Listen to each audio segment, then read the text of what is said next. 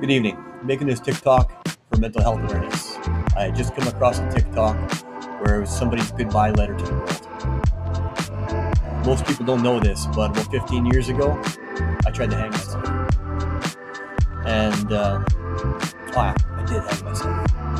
But before I expired, I thought about what it would do and the pain it would cause my family.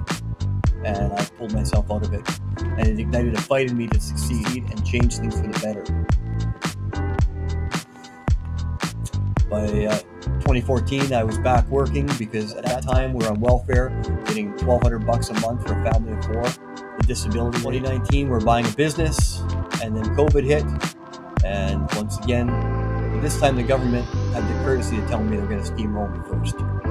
They actually did, and uh, I mean they kept their word. I just didn't know my wife was going to pass away years later all the stress and everything. Uh, I'm still here. People have told me, like, why am I here? Why is she not here? I had no control over that. You know, I tried to help her as best I could. I've always been there for her. I was the only one there for her. Everyone else abandoned her. I'm the only one stood by her. She had a brain injury and she was learning to live her life again, learning to walk again, learning to uh, function again and uh, you can get through anything. You can get through anything. You just have to push through the pain. I'm going to give you two strategies in this reel that I use that have helped me and have proven. One of them I found after my wife passed, after uh, I was put through absolute hell, and uh, like she was Métis she was reported missing. Police didn't look for her. It's common in Manitoba. Just look up Manitoba. If you know, you know. It's just a city, shitty, shitty situation here. But uh, I hope it stops. You know, I hope people stop and they actually start treating Indigenous and Métis women with respect that they deserve because they're people too. They're mothers, their sisters, their daughters. They deserve respect. So the first technique is called color breathing. It came from a declassified CIA program that I chose to put myself through other than falling into drugs and alcohol to deal with pain.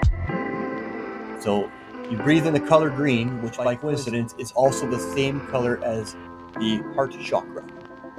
So all those emotions you picture and pain sticking to that color in your heart and you breathe them out with your breath. Breathing in the color green, breathe out the pain and anxiety and worry. The other one, positive affirmations and stop criticizing yourself. Just stop criticizing yourself. Don't say anything negative. Don't even joke about anything negative. And be conscious of what you listen to. In the struggle, we used to have like Three's Company on all night. That's people who are broken struggling, right? Trying to make rent, trying to make all these things happen in their lives. Now I listen to audiobooks at night instead of uh, some TV show. I don't even watch TV anymore. I hope this helps somebody. I'm making this for mental health awareness. I hope people choose to keep living, choose to keep trying, keep fighting, moving forward because eventually you will succeed. Have a blessed evening. Thank you.